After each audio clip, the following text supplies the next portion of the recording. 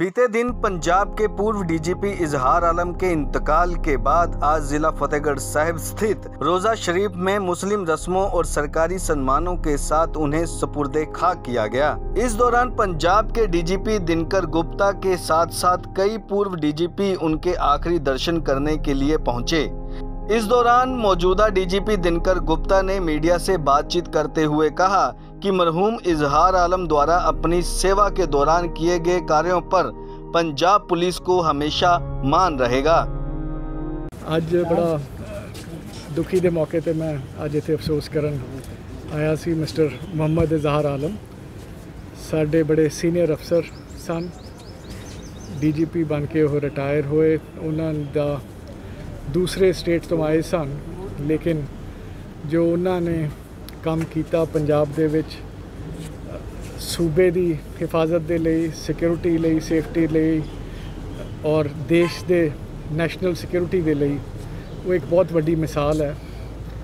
ਔਰ ਉਹਨਾਂ ਨੇ ਬਹੁਤ ਇੱਥੇ ਕੰਮ ਕੀਤਾ, ਬੜੀ ਦਲੇਰੀ ਨਾਲ ਕੰਮ ਕੀਤਾ ਔਰ ਪੰਜਾਬ ਪੁਲਿਸ ਨੂੰ ਉਹਨਾਂ ਤੇ ਬਹੁਤ ਮਾਣ ਹੈ ਔਰ ਹਮੇਸ਼ਾ ਰਹੇਗਾ। गौरतलब है कि तिहत्तर वर्षीय पूर्व डीजीपी इजहार आलम का हार्ट अटैक होने के कारण इंतकाल हो गया था, जिसके बाद आज उनके पार्थिव शरीर को सपुर्दे खाक किया गया। वहीं श्रोमणी अकाली दल अमृतसर के नेताओं और कार्यकर्ताओं द्वारा पूर्व डीजीपी इजहार आलम को सरहंद के रोजा शरीफ में सपुर्दे खाक करने का विरोध किया गया और काले झंडे दिखाए गए। इस दौरान कई नेताओं को हिरासत में भी लिया गया। इस दौरान श्रोमणी अकाली दल अमृतसर के प्रेस सचिव इकबाल सिंह टिवाना ने कहा कि इजहार आलम सिखों के कातिल हैं वह मलेरकोटला के रहने वाले थे और कोठी उनकी चंडीगढ़ में थी उनको शहीदों की पवित्र धरती सरहिंद में सपुर्दे खाक करना सिखों के जख्मों के ऊपर नमक छिड़कना है ਅੱਜ ਅਸੀਂ ਰੋਜ਼ਾ ਸ਼ਰੀਫ ਵਿਖੇ ਜੋ ਸਿੱਖ ਕੌਮ ਦੇ ਕਾਤਲ ਨੇ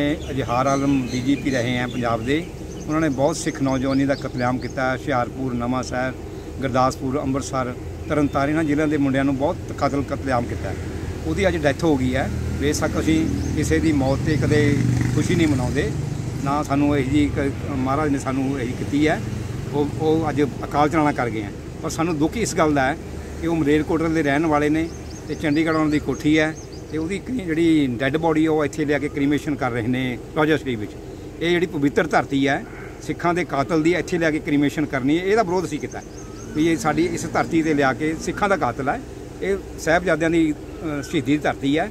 ਇੱਥੇ ਲਿਆ ਕੇ ਸਿੱਖਾਂ ਦੇ ਕਾਤਲ ਦਾ ਤੁਸੀਂ ਕ੍ਰੀਮੇਸ਼ਨ ਰੋਜਾ ਸ਼ਰੀਫ ਵਿਖੇ ਕਰੋ। ਇਹ ਸਾਡੀ ਬਰਦਾਸ਼ਤ ਤੋਂ ਬਾਹਰ ਹੈ। ਇਹਦਾ ਅਸੀਂ ਸ਼੍ਰੋਮਣੀ ਅਕਾਲੀ ਦਲ ਅੰਮ੍ਰਿਤਸਰ ਨੇ ਸਿੱਖ ਕੌਮ ਵੱਲੋਂ ਇਹ ਅਸੀਂ ਵਿਰੋਧ ਕੀਤਾ ਹੈ ਵੀ ਇੱਥੇ ਬਿਲਕੁਲ ਨਹੀਂ ਸੀ ਹੋਣਾ ਚਾਹੀਦਾ। ਕੁਝ ਰਾਉਂਡ ਅਪ ਵੀ ਕੀਤੇ ਗਏ ਨੇ ਬੰਦੇ? ਪੁਲਿਸ ਨੇ ਪੁਲਿਸ ਨੇ ਕੋਈ ਕਾਰਵਾਈ ਕੀਤੀ ਹੈ ਤੁਹਾਡੇ ਬੰਦੇ ਤੇ ਜੀ? ਨਹੀਂ ਪੁਲਿਸ ਮਾ ਜਦੋਂ ਅਸੀਂ ਨਾਅਰੇਬਾਜ਼ੀ ਕੀਤੀ ਵੀ ਸਿੱਖ ਕੌਮ ਦੇ ਕਾਤਲ ਮੁਰਦਾਬਾਦ ਉਹ ਕਰਨਾ ਹੀ ਸੀ। ਜੋ ਸਾਡਾ ਰੋਸ ਹੈ ਮਨ 'ਚ ਹੈ। ਕਿਉਂਕਿ ਬੀਤੇ ਸਮੇਂ ਵਿੱਚ ਜਿਹਨੇ ਕੇਪੀਐਸ ਗਿੱਲ ਹੈ ਮਰਹੂਮ ਇੰਦਰਾ ਗਾਂਧੀ ਹੈ ਬਿਆਨ ਸਿੰਘ ਹੈ, ਜਿਨ੍ਹਾਂ ਨੇ ਵੀ ਜਨਰਲ ਦਿਆਲ ਨੇ, ਜਿਨ੍ਹਾਂ ਨੇ ਵੀ ਕਤਲ ਕੀਤਾ ਹੈ, ਕਤਲੇਆਮ ਕੀਤਾ ਸਿੱਖ ਕੌਮ ਦਾ ਉਹ ਸਿੱਖ ਕੌਮ ਦੀ ਇੱਕ ਬੈਡ ਬੁੱਕਸ 'ਚ ਨੇ। ਉਹਨਾਂ ਪ੍ਰਤੀ ਨਫ਼ਰਤ ਆ, ਉਹ ਰਹਿਣੀ ਹਮੇਸ਼ਾ। ਜਦ ਤੱਕ ਸਿੱਖ ਕੌਮ ਜਿੰਦੀ ਆ, ਉਹ ਰਹਿਣੀ ਆ, ਕਿਉਂਕਿ ਇਹਨਾਂ ਨੇ ਗਲਤ ਕੰਮ ਗੈਰ ਇਨਸਾਨੀਅਤ, ਗੈਰ ਕਾਨੂੰਨੀ ਕੰਮ ਕੀਤੇ ਆ।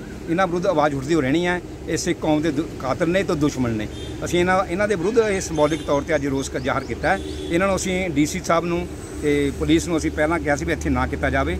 ਤੇ ਅਸੀਂ ਇਹਦਾ ਵਿਰੋਧ ਕਰਾਂਗੇ ਪਰ ਉਹਨਾਂ ਨੇ ਜੋ ਮਿੱਥਿਆ ਸੀ ਉਹ ਕਰਨਾ ਹੀ ਸੀਗਾ ਪ੍ਰੋਗਰਾਮ। ਕਿੰਨੇ ਕੁ ਬੰਦੇ ਜਿਹੜੇ ਰਾਉਂਡ ਅਪ ਕੀਤੇ ਨੇ ਪੁਲਿਸ ਅੱਜ ਹੁਣ ਜਿਹੜੇ ਬੰਦੇ ਨੇ ਉਹ 17 18 ਬੰਦੇ ਆ ਜਿਹੜੇ ਰਾਉਂਡ ਅਪ ਕੀਤੇ। ਪਾਰਟੀ ਦੇ ਜ਼ਿਲ੍ਹੇ ਫਤਿਹਗੜ੍ਹ ਸਾਹਿਬ ਦੇ ਸੀ ਕਿਉਂਕਿ ਐਟ ਅ ਟਾਈਮ ਪਤਾ ਲੱਗਿਆ ਜੇ ਤਾਂ ਕੱਲ ਪਤਾ ਲੱਗ ਜਾਂਦਾ ਫਿਰ ਤਾਂ ਅਸੀਂ ਪੰਜਾਬ ਲੈਵਲ ਤੇ ਇਹਨੂੰ ਇਕੱਠਾ ਕਰਕੇ ਹੋਰ ਵੱਡਾ ਕਰਦੇ।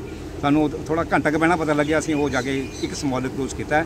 ਅਸੀਂ ਇਹ ਰੋਸ ਦਰਜ ਕਰਦੇ ਹਾਂ ਵੀ ਸਿੱਖਾਂ ਦੇ ਜ਼ਖਮਾਂ ਤੇ ਲੂਣ ਨਾ ਛਿੜਕਿਆ ਜਾਵੇ। ਜਿਹੜੇ ਸਿੱਖ ਕੌਮ ਦੇ ਕਾਤਲ ਹੈ ਉਹਨਾਂ ਦੇ ਉਹਨਾਂ ਪ੍ਰਤੀ ਇਸ ਤਰ੍ਹਾਂ ਸਨਮਾਨ ਕਰਨੇ ਉਹ ਸਿੱਖਾਂ ਨੂੰ ਚੜਾਉਣ ਜਾਂ ਸਿੱਖਾਂ ਦੇ ਜ਼ਖਮਾਂ ਤੇ ਅੱਲੇ ਜ਼ਖਮਾਂ ਤੇ ਲੂਣ ਛਿੜਕੇ ਦੇ ਬਰਾਬਰ ਹੈ ਇਹ ਨਾ ਕੀਤਾ ਜਾਵੇ ਇਹ ਸਿੱਖ ਕੌਮ ਬਰਦਾਸ਼ਤ ਨਹੀਂ ਕਰੂਗੀ फतेहगढ़ साहिब से दीपक सूद की रिपोर्ट रियल फ्लेवर्स न्यूज़